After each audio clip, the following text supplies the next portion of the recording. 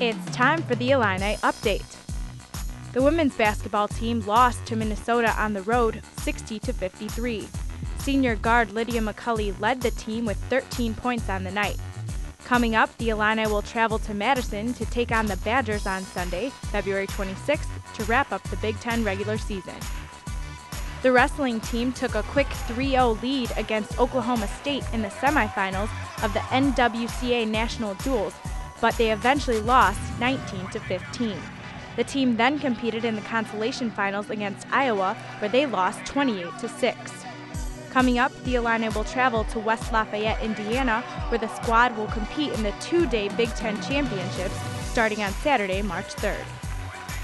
The men's gymnastics team fell in a tight battle to the Nittany Lions on Sunday. As a team, the Illini won parallel bars and high bars. Paul Ruggeri led with three event titles, and CJ Maestas captured his third all around win of the year. Coming up, the Illini will head to Huff Hall to go head to head against the Ohio State Buckeyes on Friday, March 2nd. The women's gymnastics team tied Michigan State at their annual pink meet this last week.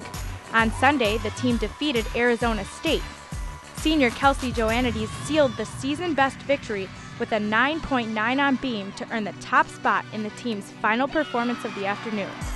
Coming up, the Illini will head up to Chicago to compete against UIC on Saturday, February 25th. The baseball team kicked off its season with the Big East Big Ten Challenge in Florida, where the team went one for three on the weekend. Coming up, the team will head to Beaumont, Texas to participate in the YMBL Cardinal Classic starting on Friday, February 24th.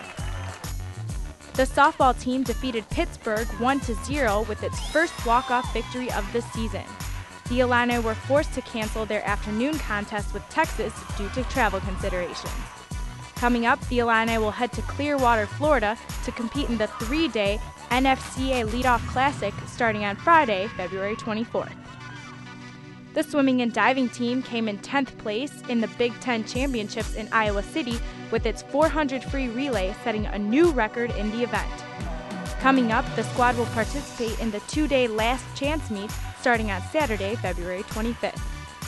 The women's tennis team dropped a 4 3 heartbreaker against Notre Dame in South Bend on Sunday. Coming up, the squad will travel to Montgomery, Alabama to take part in the three day Blue Gray Invitational starting on Friday, February 24th. For more information on Illini athletics, check out fightingillini.com.